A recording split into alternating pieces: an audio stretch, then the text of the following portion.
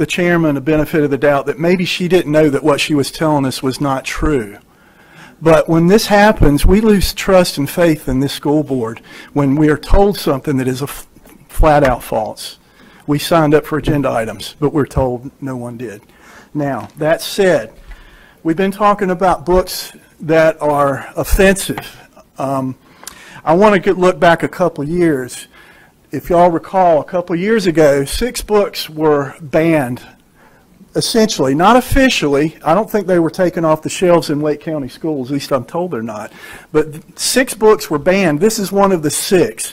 I, I bought this book because I wanted to know what was wrong with this book because we were told that some of the uh, content in Dr. Seuss's books were offensive or might be offensive to some people.